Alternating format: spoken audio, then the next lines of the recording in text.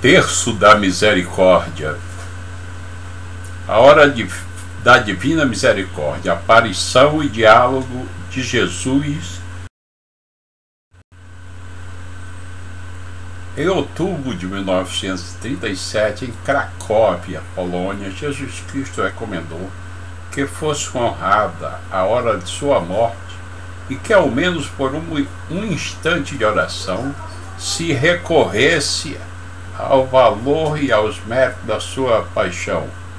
Às três horas da tarde, implora a minha misericórdia, especialmente pelos pecadores, e, ao menos por um breve tempo, reflete sobre a minha paixão, especialmente sobre o abandono em que me encontrei no momento da minha agonia.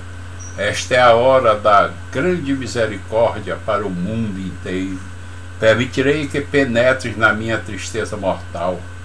Nessa hora nada negarei à alma que me pedir pela minha paixão. Diário 1320. Que todas as vezes que ouvires o bater do relógio às três horas da tarde, deves mergulhar toda a minha misericórdia adorando-a e glorificando-a. Implora a onipotência dela em favor do mundo inteiro e especialmente dos pobres pecadores. Nessa hora conseguirás tudo para ti e para os outros. Nesta hora realizou-se a graça que todo o mundo, a misericórdia, venceu a justiça.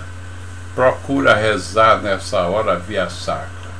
Se não puderes, fazer a via sacra, entra ao menos por um momento na capela e adora o meu coração que está cheio de misericórdia no Santíssimo Sacramento. Se não puderes sequer ir à capela, recolhe-te em oração onde estiveres, ainda que seja por um breve momento, exijo honra minha misericórdia de toda criatura.